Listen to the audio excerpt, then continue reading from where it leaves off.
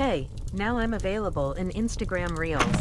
Hey, now I'm available in Instagram Reels. Hey guys, it's Dhiman here. Instagram has rolled out two new features that are very similar to TikTok.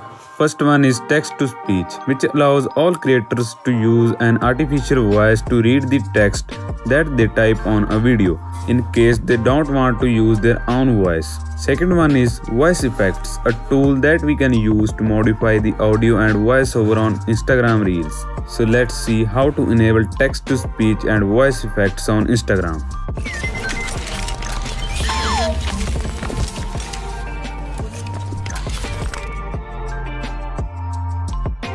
First of all, I recommend you to update your Instagram for this open Play Store.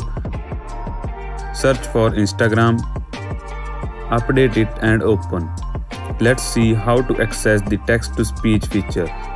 First, you need to open Reels camera on Instagram and record a video or upload it via Gallery app. Now use the text tool to add text to our video. Here you will notice a new text bubble which you need to tap on.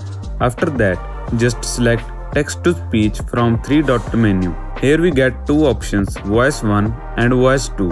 Just select any one and tap on post. Moving ahead, we got a new option called voice effects. Instagram is currently offering a total of 5 voice effects which allows us to use an artificial voice on our video. These includes announcer, alien, giant, robot, and vocalist.